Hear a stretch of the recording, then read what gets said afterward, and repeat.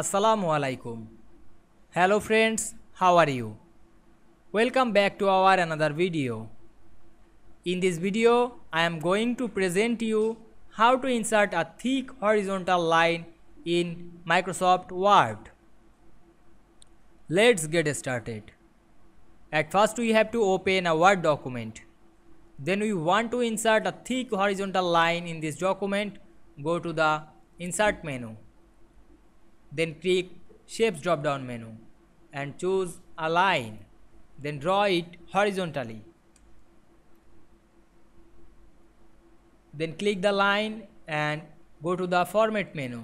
Then click Shape Outline and choose White drop down menu and change the thickness.